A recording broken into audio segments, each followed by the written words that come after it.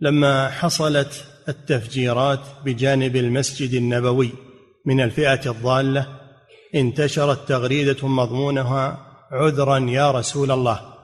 فهل يجوز قول هذا بهذا السبب؟ نعم.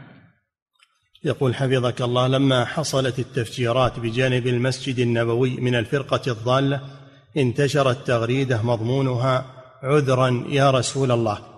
فهل يجوز؟ ما له اصل الكلام ما له اصل هذا ما يعتذر إلى الرسول صلى الله عليه وسلم بعد موته.